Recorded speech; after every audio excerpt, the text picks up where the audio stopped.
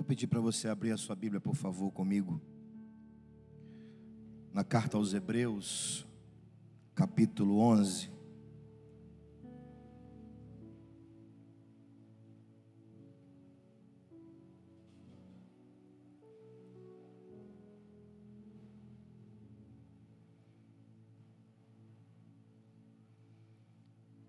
Eu pensei em trazer um texto clássico para esta manhã, como por exemplo a própria ressurreição de Jesus.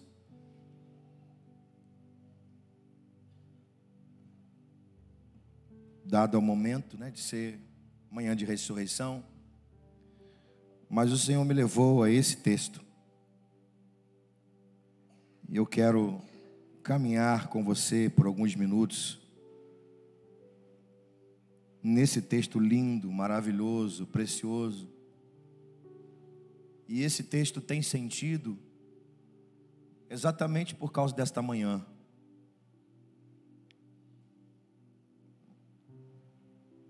Hebreus capítulo 11, nós vamos ler a partir do versículo 32.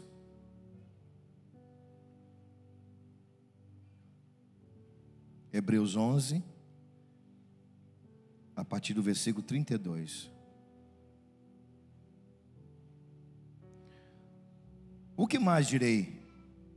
Certamente me faltará o tempo necessário para referir o que há de respeito de Gideão, de Baraque, de Sansão, de Jefté, de Davi, de Samuel e dos profetas, os quais, por meio da fé, subjugaram reinos, praticaram a justiça, obtiveram promessas, fecharam a boca dos leões, extinguiram a violência do fogo, escaparam ao fio da espada, da fraqueza tiraram força, fizeram-se poderosos em guerra, puseram em fuga exército de estrangeiros. Mulheres receberam pela ressurreição os seus mortos, alguns foram torturados, não aceitando o seu resgate para obter, obterem superior ressurreição. Outros, por sua vez, passaram pela prova de escárnio, açoites, sim, até algemas e prisões. Foram apedrejados, provados, cerrados pelo meio, mortos ao fio da espada, andaram perseguidos, vestidos de peles de ovelha, de cabras, necessitados, afligidos, maltratados. Olha o versículo 38, por favor. Homens dos quais o mundo não era digno, errantes pelos desertos, pelos montes, pelas covas, pelos obrigado, pelos antros da terra. Ora, todos estes que obtiveram bom testemunho por sua fé, não obtiveram, contudo, a concretização da promessa, por haver Deus provido coisa superior a nosso respeito, para que eles, sem nós, não fossem aperfeiçoados. Que o Senhor nos fale por essa palavra nesta manhã. Amém? Meus irmãos,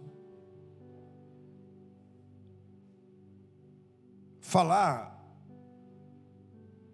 desse texto é pisar num solo santo, sagrado.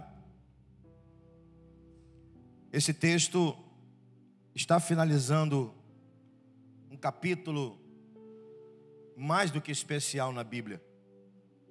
Esse capítulo é conhecido como a Galeria da Fé. Esse capítulo é o espelho do livro todo, ou da carta toda aos Hebreus. A carta aos Hebreus é uma carta escrita por um autor desconhecido e tem como proposta edificar a fé de irmãos cristãos que foram perseguidos nessa época, que eram perseguidos, perseguidos pelos judeus, perseguidos pelos romanos. Então, uma carta que tem como finalidade fortalecer a fé dos irmãos perseguidos. O livro todo vai falar de fé, de uma fé que é capaz de fortalecer a vida dos cristãos desta época. E esse capítulo, primeiro, o capítulo 11 da carta aos Hebreus, Galeria da Fé, ele nos traz exemplos de fé. Homens e mulheres que viveram a seu tempo e exercitaram a sua fé para com Deus. Eu acho esse texto fantástico. E eu quero nesta manhã te colocar aqui nessa galeria. Aliás, eu não. A Bíblia. Ela vai te colocar nessa galeria. Ela vai me colocar nessa galeria. Nós estamos aqui nessa galeria. Nós fazemos parte dessa galeria. Que galeria? A galeria da fé. O capítulo 11 de Hebreus não é um capítulo que termina, ele continua. E nós vamos entender por quê. É um capítulo que não tem fim. Esse capítulo 11 de Hebreus só vai terminar no dia em que Jesus nos levar aos céus, quando a igreja for tomada da terra. Quando o apóstolo Paulo estava para terminar a sua carreira, ele falou para Timóteo: Combati o bom combate, acabei a carreira, guardei a fé. Ou seja, ele está dizendo: Eu não preciso mais da minha fé, eu a depositei, porque eu estou sendo levado como libação, estou pronto a ser levado pelo Senhor. Então, todos nós, um dia guardaremos a nossa fé, um dia não iremos precisar mais da fé, a fé não é um sentimento, a fé é um atributo, é um elemento que Deus nos deu para vivermos nessa terra, para suplantarmos todas as adversidades que existem nessa terra. A fé, por definição do próprio capítulo 11 de Hebreus, é a certeza de coisas que não se veem e a convicção de fatos que não se esperam. Mas a fé ela é um elemento dado a nós para passarmos a nossa trajetória de vida, vencermos a nossa trajetória de vida, até chegarmos a olhar face a face o nosso Deus no céu. Aí nós não vamos mais precisar de fé. Por quê? Porque o veremos face a face, assim como Ele é. Amém? Então, fique tranquilo, eu não vou demorar. E fique tranquilo, você vai se encontrar aqui nessa galeria. Você vai se achar aqui. Porque, repito, essa, esse capítulo ele não terminou, ele não fechou. Ele só vai terminar, ele só vai fechar quando a igreja for tomada da terra. Enquanto a igreja não for tomada da terra, essa galeria está aberta. Agora deixa eu dizer uma coisa para você: por que, que esse capítulo tem sentido?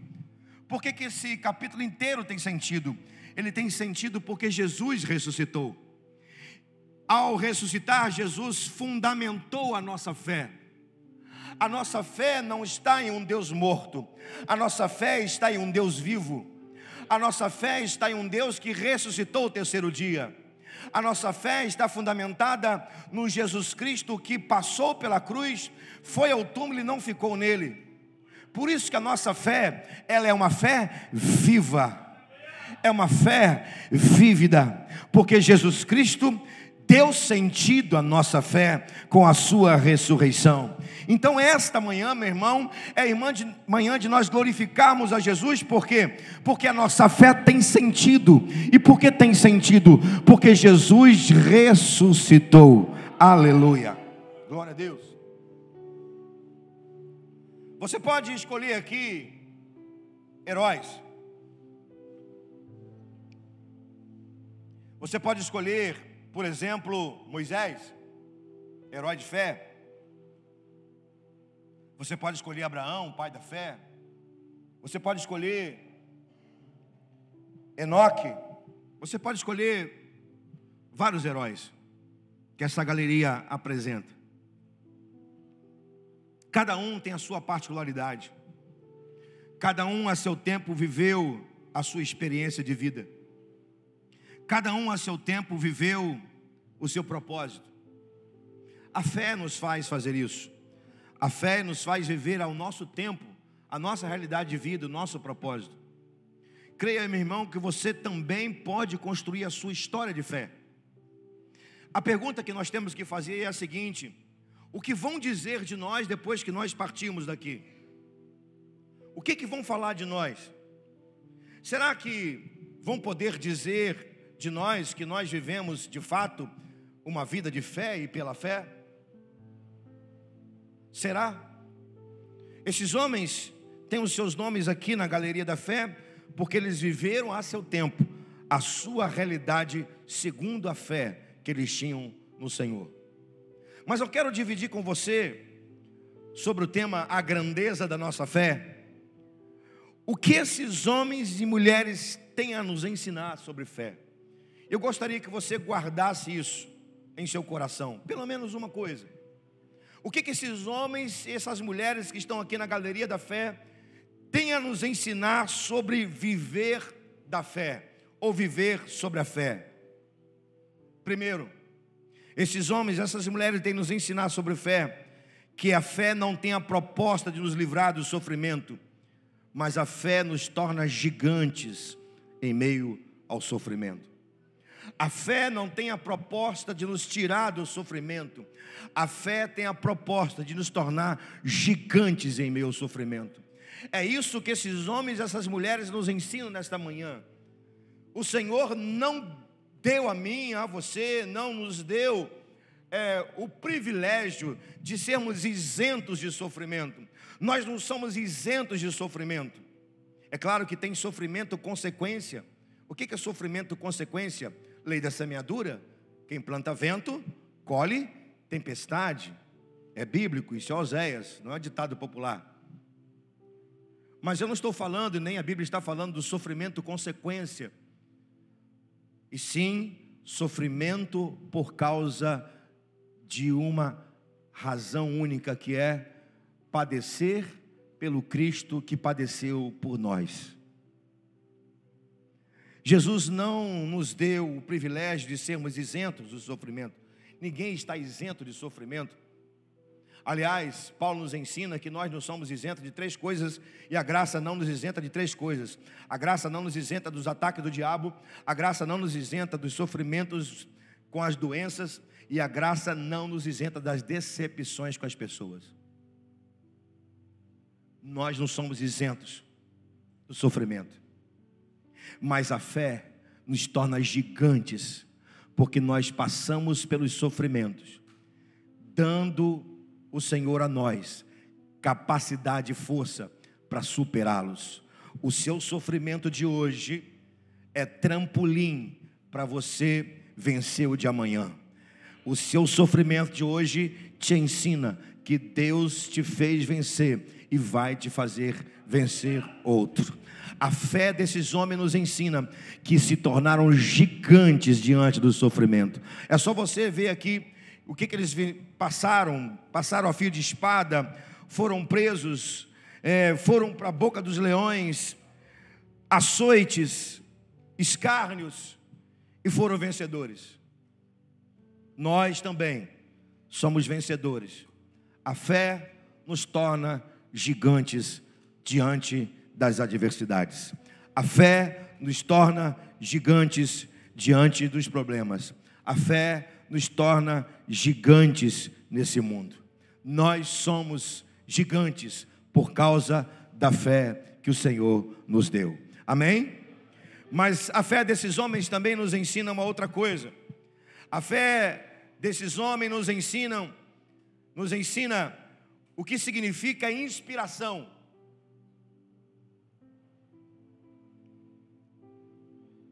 Se você Leia a biografia de qualquer homem desse aqui ou mulher, você vai se inspirar. O que é inspiração? Inspiração, quando alguém é capaz de inspirar o outro, é quando você é capaz, e essa capacidade não vem de nós, evidentemente que vem de Deus, quando a gente consegue fazer com que o outro seja levado a querer viver o que a gente está vivendo. É quando a gente é capaz, pelo Espírito Santo, levar a pessoa a querer viver a mesma fé que o outro está vivendo, as mesmas experiências que o outro está vivendo, a querer servir a Deus como o outro está servindo, a crescer como o outro está crescendo. Como não se inspirar olhando para a vida de um homem chamado Enoque, que andava com Deus? Como não se inspirar quando a gente consegue ver a vida de um irmão? O irmão está andando com Deus, está crescendo, está sendo maduro, a fé está levando essa pessoa a ser madura. Como não se inspirar? O mundo está carente de homens dignos, que são capazes de inspirar, de desafiar o seu tempo e gerar esperança. O mundo está carente de pessoas que inspiram os outros a quererem ser pessoas melhores. A inspiração nos leva a querer ser pessoas melhores, porque tem alguém que está querendo ser melhor a partir de Cristo. Não é querer tomar o lugar do outro, não é querer ser igual ao outro, não é inveja, é inspiração, é completamente diferente. Meu irmão, eu posso ser uma inspiração para você e você pode ser uma inspiração para mim. Você é uma inspiração para mim. Então eu vou querer viver o Cristo que você vive. Eu vou querer praticar as obras que Cristo praticou na sua vida. Isso é inspiração. Esses homens nos inspiram a ser pessoas melhores a partir do Cristo que nos torna pessoas melhores. Aleluia. Glória a Deus. Em terceiro lugar, o que esses homens nos ensinam, esses homens, essas mulheres, eles nos ensinam o que significa agradar a Deus. Agradar a Deus. Pode pegar qualquer homem e mulher desse, dessa galeria e você vai ver algo em comum entre eles. Eles agradaram a Deus. Tem um detalhe nesse ponto de agradar a Deus que a gente precisa exercer a escolha, o livre-arbítrio. O que, pastor? Se você quer agradar a Deus, você vai ter que desagradar o mundo. Se alguém quiser agradar a Deus, tem que desagradar o mundo. Não se pode agradar a dois senhores, ou agrada um ou agrada o outro. Agradar a Deus significa dizer desagradar o mundo. Esses homens nos ensinam a desagradar a ser desagradado com o mundo e agradar a Deus. Pastor, o que significa agradar a Deus? A palavra agradar vem da palavra graça, a raiz da palavra graça, ser grato. Ser grato. Agradar a Deus é ser grato a Ele por tudo que Ele é, por tudo que Ele faz. É devolver a Ele uma vida em gratidão. Agradar a Deus é devolver a Ele uma vida em forma de gratidão por tudo que Ele deu, por tudo que Ele é. Esses homens nos inspiram a agradar a Deus, a sermos gratos a Deus, a agradar o Senhor, que tudo nos deu, tem nos dado e nos dará até o fim. Amém? Em último lugar, e a gente vai entrar na galeria da fé, o que, que esses homens, essas mulheres nos ensinam sobre exemplo de fé? Eles nos ensinam a intensidade na realização da obra, eles nos ensinam como servir, como as suas vidas foram intensas na realização da obra. Nós vamos encontrar aqui nessa galeria homens e mulheres que foram intensos intensos fazendo a obra de Deus. Eles não fizeram a obra de Deus pela metade. Você não vai encontrar aqui pessoas medíocres. O que é medíocre? Na média. Você não vai encontrar homens e mulheres medíocres que fizeram a coisa pela média, não. Foram intensos, inteiros, se dedicaram de maneira inteira. Foram intensos em fazer a obra de Deus. Por exemplo, você vai encontrar aqui é, Samuel, que o próprio autor disse que não tem tempo para falar dele. Imagine se o autor pudesse falar de Samuel, não sobrou tempo para o autor falar de Samuel. Mas como que Samuel viveu de maneira intensa a obra de Deus? Eu sei que agenda é uma coisa complicada. Eu sei que a gente tem tanta coisa para fazer, nossa agenda é cheia. Mas a gente precisa olhar para a palavra de Deus e ver que esses homens nos mostra o valor de sermos intensos na obra de Deus. Deus não investiu em você pela metade. Deus não te deu um dom pela metade. Deus não te deu uma capacidade pela metade. Deus não gosta de metade. Deus não é Deus de metade. Deus é Deus inteiro. Então, se Deus é um Deus inteiro, de maneira intensa, Ele espera que você se dedique à obra, naquilo que você foi chamado, naquilo que você recebeu, no dom que você recebeu, na capacidade que você recebeu. Esses homens nos ensinam a ter intensidade na obra. Eu vou fazer a obra de Deus com toda intensidade, com todo o meu coração, com toda a dedicação. Deus vai me capacitar, Deus vai me honrar e eu serei usado na mão dele. Você será usado na mão dele. Amém, amados? Glória a Deus. Agora vamos capítulo 12. Porque falamos de homens que já não estão mais entre a gente. Eles passaram o seu tempo, marcaram o seu tempo, estão na galeria. Mas eu disse para você que essa galeria ela não termina. A prova está no capítulo 12. Olha o que está escrito no capítulo 12. Portanto, nós também. Repita comigo essa expressão. Portanto, nós também. O que, que o autor quer dizer com isso? O autor está dizendo assim: não somente esses fazem parte da galeria da fé, mas nós também. Nós também somos heróis da fé. Ele continua, ele diz assim: que temos rodeado de tão grande nuvem de testemunhas ou seja, para o autor dos Hebreus, esses irmãos da galeria da fé, Gideão, Baraque, Sansão, Samuel, Davi, Moisés, Raabe, Ana, se tornaram nuvem de testemunhas. São testemunhas. Ele está dizendo, nós também fazemos parte dessa galeria da fé. Olha o que diz o texto ainda. Nuvem de testemunha desembaraçando-nos de todo o peso do pecado que tenazmente nos assedia, corramos com perseverança a carreira que está proposta, olhando firmemente para o Autor e Consumador da fé, Jesus, o qual, em troca da alegria que lhe estava proposto, suportou a cruz, fazendo o caso de ignomia, está sentado à destra do trono de Deus.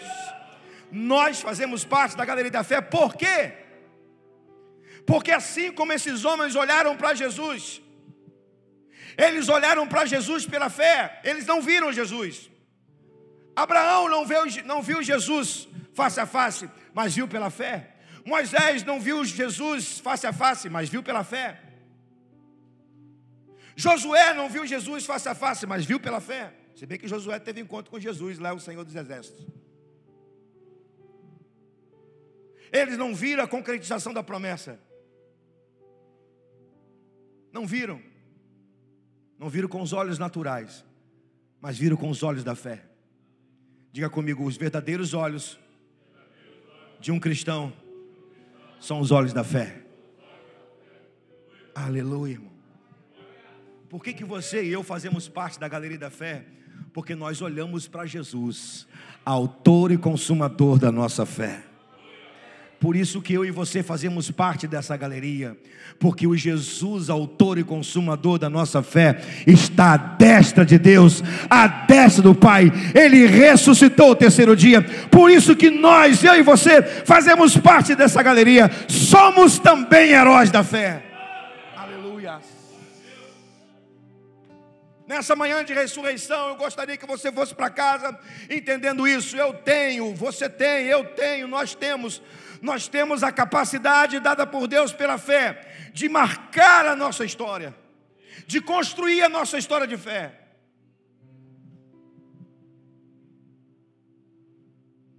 Você e eu podemos construir a nossa história de fé.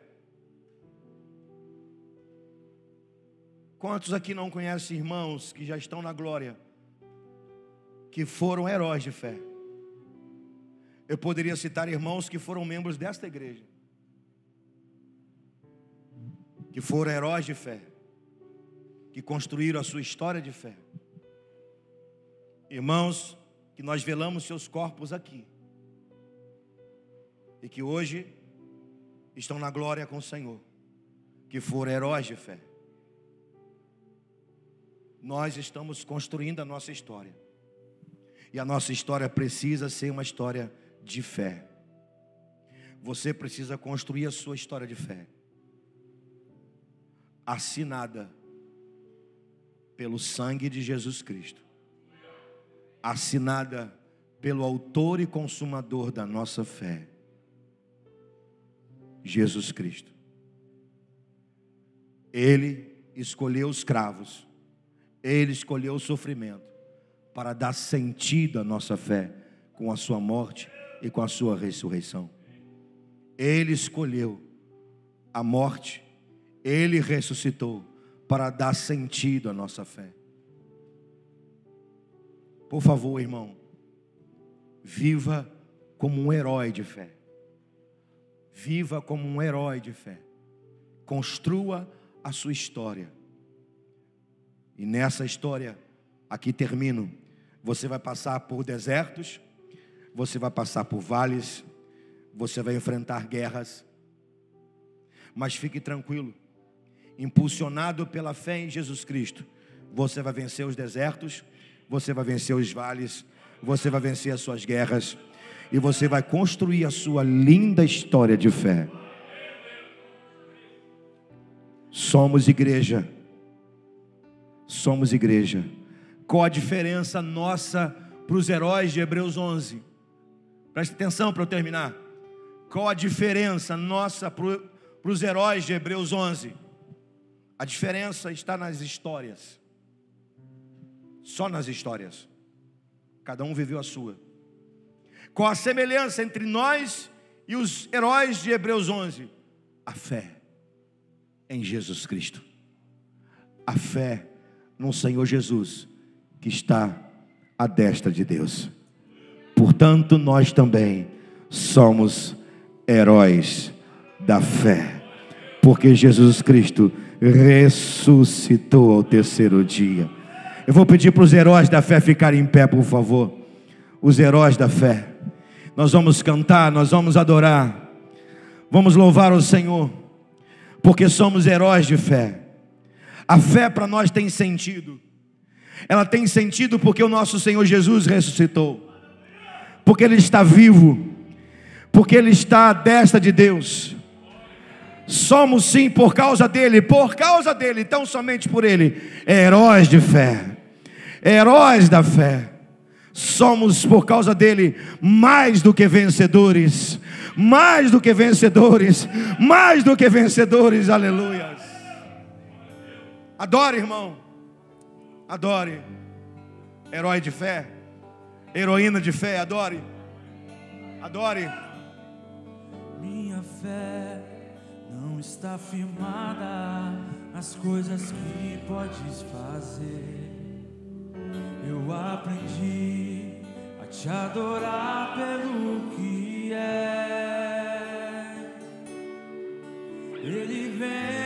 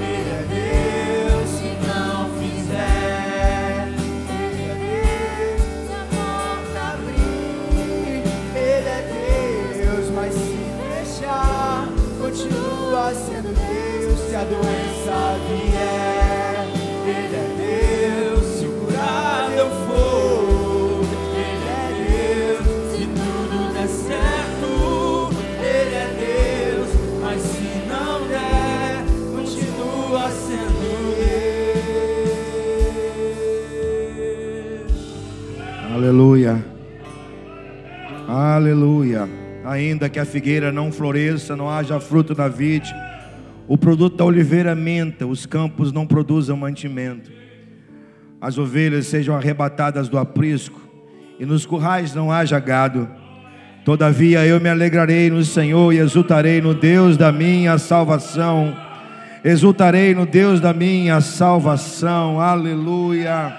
Louvado seja o nome do Senhor. Aleluia. O justo viverá pela fé. O justo viverá pela fé. É pela fé. É pela fé.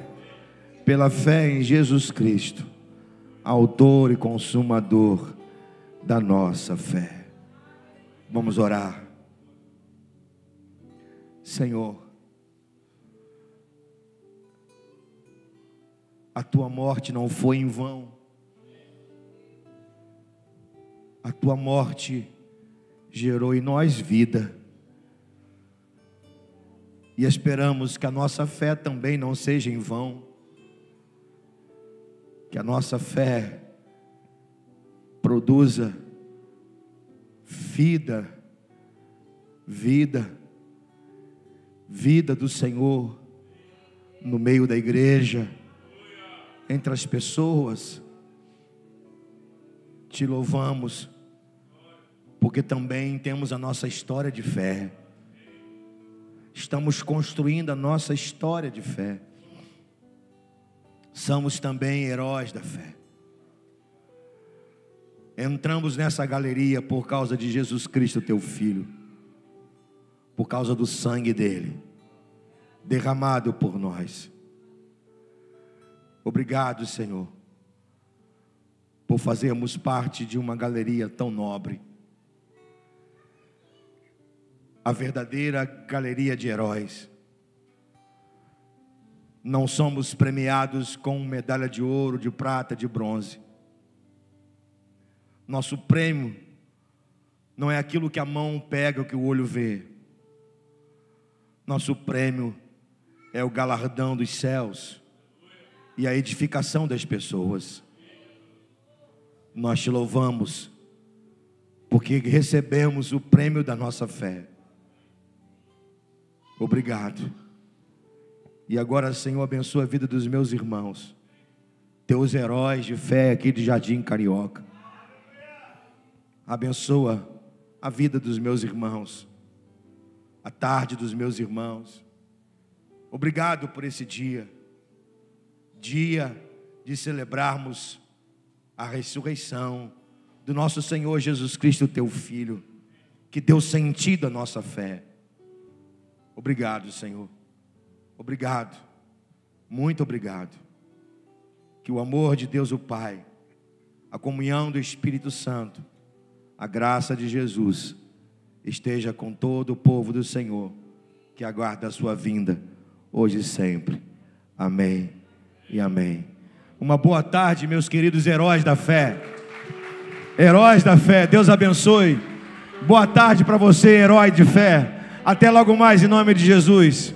Vai para casa crendo nisso, irmão. Você é herói de fé. Você é herói da fé. Louvado seja Deus.